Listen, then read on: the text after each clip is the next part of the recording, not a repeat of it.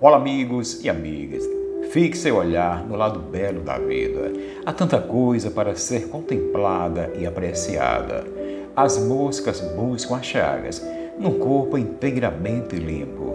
As abelhas buscam as flores, mesmo no meio de um pântano.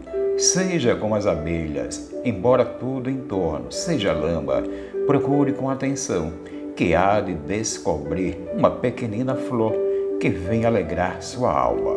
Fixe seu olhar no lado belo da vida. Você acabou de ouvir Minuto de Sabedoria com radialista e mestre de cerimônias Everton Guedes.